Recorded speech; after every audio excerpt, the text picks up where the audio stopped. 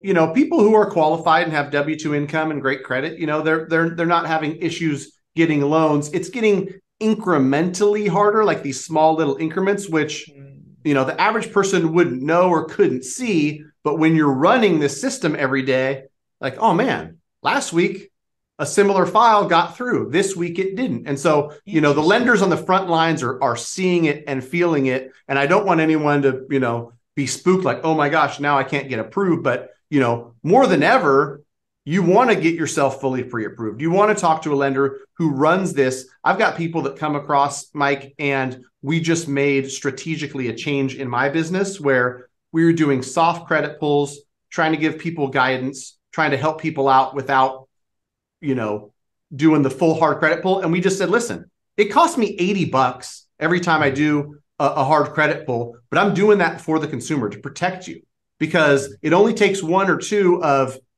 oh crap, once the hard credit pull was pulled, there's a trade line that didn't pick up on the soft one. And then we ran AUS, which we couldn't do with the soft pull. And that told us, even though it looked like 41 over 45 wouldn't be a problem with a 715 credit score, the automated system was having an issue with it. And so wow. um, we're we're certainly in different times that we were in last year.